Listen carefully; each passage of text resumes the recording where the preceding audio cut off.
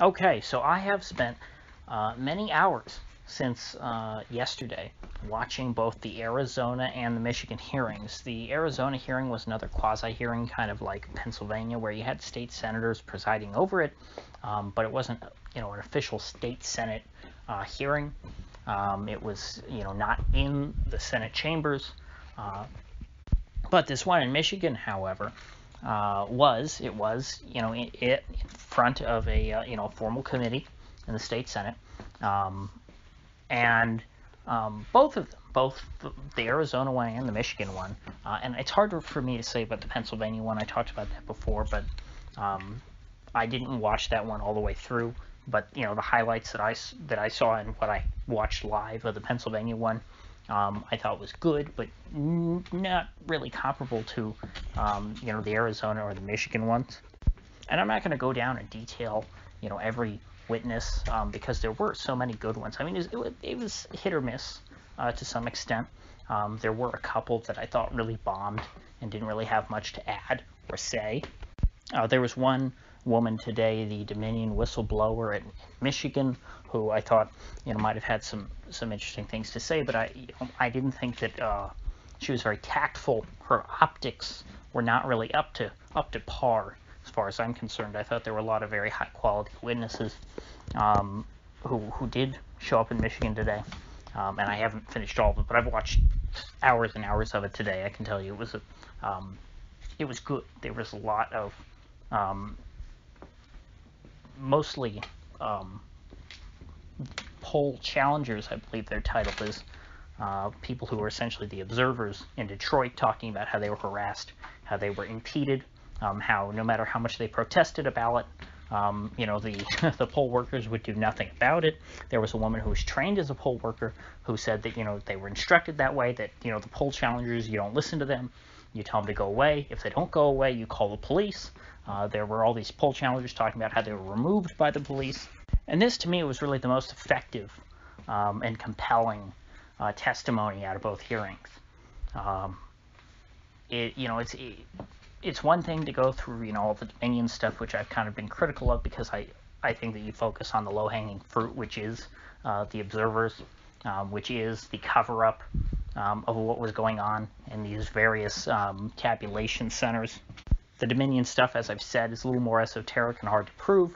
Both of these hearings in Arizona and Michigan start off with the Dominion stuff, and again, well, even though I'm somewhat critical of them, uh, from you know as far as you know maybe a legal strategy goes, um, because judges tend to be old people who are not really that well versed in computers, and I think that you know their eyes might glaze over.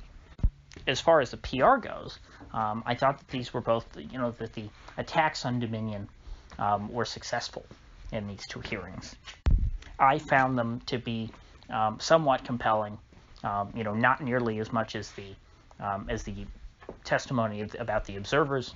Um, you know, of course, in Arizona, there was one woman in particular uh, who was completely denied uh, to watch the signature verification. She was escorted out of the room, said you can't watch the signature match, um, and she estimated that there were about 34,000 ballots uh, that she alone was denied from verifying the signatures on.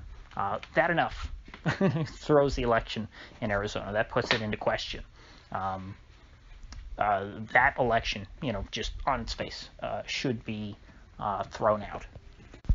The proper resolution to that would be a revote. Um, and similar, uh, similarly, you have what was going on in Michigan, in Detroit, where uh, the the challengers and the observers were stonewalled at every extent. They were harassed. Um, they were castigated by the um, you know almost entirely Democratic uh, contingency of poll workers. And the one take big takeaway that I got from the, watching these two hearings is that um, I, I, hope as many ordinary Americans as possible watch them and are exposed to them. Um, and I think that you know the publicity of everything that's been going on, uh, this sort of stuff, you know, is not going to be silenced. This is not going to just go away. People are not going to forget about this. And I think what this is doing is it's red pilling uh, a lot a lot of normies uh, on the democracy question. You know, it's easy for me to just sort of um, dismiss the significance of uh, elections being stolen uh, because I'm someone, you know, I'm a fan. I, I own uh, Democracy, the God That Failed, the book. Uh, you know, so I'm kind of already in this sphere of uh, I don't take democracy that seriously. I don't think that it legitimizes things. I don't think that if 49% uh, or that 51% uh, of the people vote that 49% of the population should be enslaved, that that suddenly makes slavery um, uh, moral or justified. you know, I'm just I'm not someone who puts a lot of faith in voting. But these other folks, they take, you know, they've bought into the civic religion of the United States that, you know, uh, voting is your civic duty, all this stuff, um, and that, you know, our votes are sacred. Um, these are, you know, these are very deliberate um, uh, terms. Uh, this, you know, these have religious invocations or religious implications, or you could say that they're invoking the language of religion uh, to um, dress up democracy in America. But after uh, this election, specifically these two hearings, everything they've been hearing, um, I don't know how ordinary people can continue to have any faith in the democratic system. And that's a good thing because, um, you know, if we get to the point to where uh, election, let's say somebody's elected who decides to make AR-15s an NFA item, uh, that everyone has to pay their $200 tax stamp and register their guns. Um, it, if under a system where people take democracy 100% seriously, they'll say, well, I guess, you know, 51% of the population voted this way, uh, and I, even though I'm in the 49%, I have to go along with it because that's just the way democracy works. You know, we had our fair election and I lost. Um, I guess I'll just have to go along with the law. Um, that's not going to be the case now, definitely, because uh, even if this is someone who would have felt that way, um, who would have thought that, you know, oh, the vote is absolute, I lost, so I have to go along with whatever the, the enemy says. Uh, if they don't think that that election was fair, if they see all these things that, I mean, are very clear signs that, that the election was stolen. I mean, you don't try and cover up something uh, that's not going on. Uh, you have no reason to try and uh, hide uh, what you're doing unless you're doing something nefarious. Uh, that's, you know, you don't train your poll workers that to stonewall uh, the poll challengers. you don't train them to try and you know hunch over the ballots uh, and and conceal them so that the poll watchers or so that the uh, the observers um, can't see what what they're doing. Now the other thing about this Michigan hearing uh, is that because it was an actual state senate hearing, um, there were Democrats that showed up. It's not just like a bunch of Republican state senators got together and said, "Hey, let's let's meet at uh, at the Wyndham and invite Rudy Giuliani to make his case." This was a real hearing uh, in which Rudy Giuliani was denied entry. They said, "No, we don't want to hear from Rudy Giuliani," uh, which you know I guess that might be a uh, um, uh, that might be an indication uh, of how they feel about the Trump campaign. That they're perhaps you know somewhat hostile, although they were um, the the people there, they seemed, for the most part, I, I got the feeling that there were four Republicans on this committee and only two Democrats. That's how it seemed. That might not be the case. But based on the questions, uh, four people sounded pretty sympathetic to the witnesses. Um, two people were somewhat adversarial, and uh, one of which was from Detroit. But uh, they didn't ask any tough questions of the witnesses. They didn't. Um, I mean, there were a couple of witnesses. I was thinking, boy, when the you know, as soon as it goes to the questions, the Democrats are going to shred this guy uh, or this gal. You know, the the Dominion whistleblower in particular. I thought, oh my gosh, uh, if I were a Democrat, the, you know, the, the questions I'd ask her and just tear her apart. Uh, they didn't even do that. Uh, the, the, I don't know if these Democrats were just incompetent or if they, because uh, I mean, even if they thought that these people were telling the truth, I mean, you could at least try and um, you could at least try and uh, hurt their credibility. I mean, at one point, the, Demo- the Democratic woman uh, who was from Detroit uh, was asking this one witness, who I think was probably the best witness um, uh, of the day, and she was calling him by the wrong name. No, I can't remember his name. Um, I think she was calling him Warnock or something.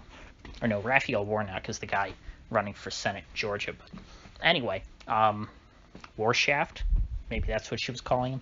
That wasn't his name. Um, she asked him because uh, he was alleging that there was you know voter fraud going on in Detroit.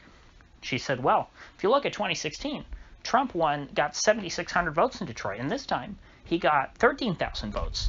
So uh, how did, how was there any fraud? Trump got more votes this time, and the guy was like, was was just puzzled. I mean, he asked like, well, wait, is, is there more to your question? I mean, what's the, I mean, because it was such a softball. He's like, well, the fraud is in the 229 people I've confirmed uh, who voted who, who are dead, and the 2,600 people who uh, voted and whose registered address um, is either, you know, is a vacant lot or a burned out building i.e., you know, like this guy presented evidence of uh, almost just from that he's found so far. He hasn't gone through every absentee ballot. He said they've checked like 30,000 of the uh, 165,000 absentee ballots in, in Detroit. Um, and, you know, this is just, you know, one group uh, of people. Um, and they have discovered already uh, nearly 3,000 uh, illegal votes, votes that are quite literally fraudulent and she's like, well, Trump got more votes this time. So how about that, Mr. Republican? I mean, if there was anyone who was at all on the fence watching this hearing, um, you know, the Democrats would have wanted to try and expose these witnesses and make them look bad and make them look like they're wrong. Uh, and in, in, in that case, um, which I think was the most serious challenge that any of these Democrats ever um, made to these witnesses, because most of the witnesses they didn't ask any questions. This was just really the Republicans asking questions. Um, you know, she made him look better in that case because she gave him the opportunity to present more, you know, more of his evidence and say, you know, like, hey, who cares if Trump got more votes? I'm just, I don't know who these people voted for. All of these illegal votes could have voted for Trump, for for all we know. um, all we know is that there were a significant number of people who voted illegally. Uh, there were also ballots um, that had been, you know, because uh, these poll watchers and things were describing ballots that were uh, they couldn't be, you know, read through the machine and had to go to be adjudicated, and they were ballots that um, pretty much every one of those ballots. Uh, they decided, oh well, this person intended to vote for a Democrat. So like there was one ballot, um, or like a few ballots actually that they described uh, that had multiple um, bubbles filled in um, at each line that you know they they uh, for the different candidates running for certain offices like there was one ballot that filled in the republican and the democrat bubble on every elected office and the canvassing board uh, decided or not well not the canvassing board i forget what they call it but whatever the the people were called decided oh well we're going to give this ballot to the democrats and it's like well no you, if you fill in the ballot for two people that that's your vote is canceled out you can't uh, you, you you can't just pick who you want that person to have voted for, uh, they, you know, they invalidated their own ballot by filling in everything. They should have asked for a new ballot. And it's not like they bubbled in Trump's name, crossed out Trump, and then bubbled in Biden's name. they bubbled in both on everybody. It was almost like this person had voted, you know, for something, and then uh, someone else got in and er, uh, bubbled in uh, the other party to put it into question. So yeah, there's after watching all this, I mean, I'm absolutely certain this is not something that's just going to get swept under the rug. Um, this is not something that the RNC can just use to fundraise off of for a couple weeks, and then they say, "Oh well, we tried. Oh well, you know, we we lost. Uh, we thought there was fraud, but you know, we couldn't prove it. Oh, better try again in four years. You know, hey, we better win these Georgia runoff races, everybody. Okay, time to move on. You know, no, people are not going to move on from this, and nor should they um, you know, people should uh, continue uh, to investigate this and look into it, uh, you know, forever. I mean, it's just kind of like it's it's very creepy. It's kind of like after, uh, um, you know, 9/11. It's like, okay, well, time to move on and go to Afghanistan. Or then, oh, time to move on and go to Iraq. And it's like, hey, can't we try and, you know, uh, investigate and find out exactly what happened on 9/11? You know, not um, scoop up all of the debris uh, dump it onto a barge and ship it off to China to be melted down? Shouldn't we try and examine for forensic evidence? Uh, you know, at ground zero? It's like, no, what are you talking about? We're, we're invading Iraq now. what are you still doing relitigating 9-11? And obviously, I, this is not 9-11, so I don't want anybody to take that out of context and say that I'm comparing uh, the election being stolen from Trump to 9-11. No, 3,000 people have not died. Um, that's, that's not what I'm doing. But it's a similar, um, there's a similar creepy group think that just says, yo, you have to accept the official narrative. Yeah, I mean, well, same thing happened with the virus. Even though the official narrative was in flux for quite some time, the official narrative was kind of solidified at this point. But I remember when the official narrative was changing week by week. So yeah, at this point, um, there's no chance that the Democrats are going to try, or that the courts are going to try and um, reconcile uh, the concerns of Trump voters and all these poll observers and all these various people uh, who think that the election is, at the very least, smells fishy. Um, they're not going to reconcile that with the with the Biden victory. It's very clearly now going to be a bifurcated perspective. There's going to be no um, uh, there, there's no attempt, you know, because if this went through the court and the court, you know, let the Trump people make their case or whatever, and they weren't just stonewalled at, every stage, um, and uh, they presented their case and it turned out that you know their evidence wasn't sufficient, and you know the judge made a fair ruling. Uh, you know, you could win back a lot of the Trump people, and they could take that seriously if it if, if it seemed like that it that there was just uh, someone in the system uh, who was not totally out to get them. But that you know that's just not the case. Um, so with that said, if you gain anything of value out of this video, I'd appreciate you clicking that like button and sharing this video. And if you haven't already, please do subscribe because I do upload every day and I'd hate to have you miss one. So I'll see you folks back here tomorrow.